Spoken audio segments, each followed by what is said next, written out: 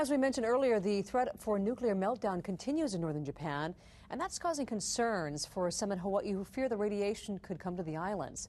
So we sent KITV4's Moanike'ala Nabarro off to find out if there really is reason for concern here in Hawaii.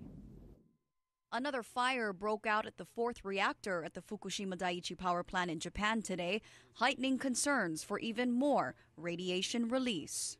We talked to Lynn Nakasone from Hawaii's State Department of Health. She says although there is no radiation hazard here, the department takes this situation very seriously.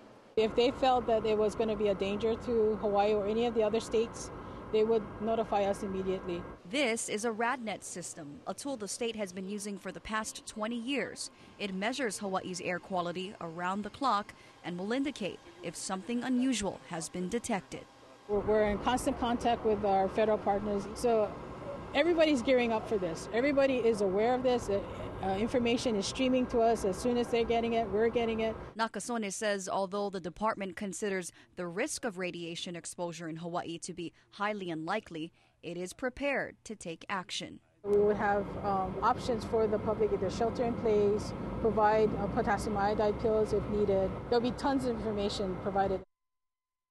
Well, potassium iodide pills can help prevent cancer in the thyroid caused by radiation exposure.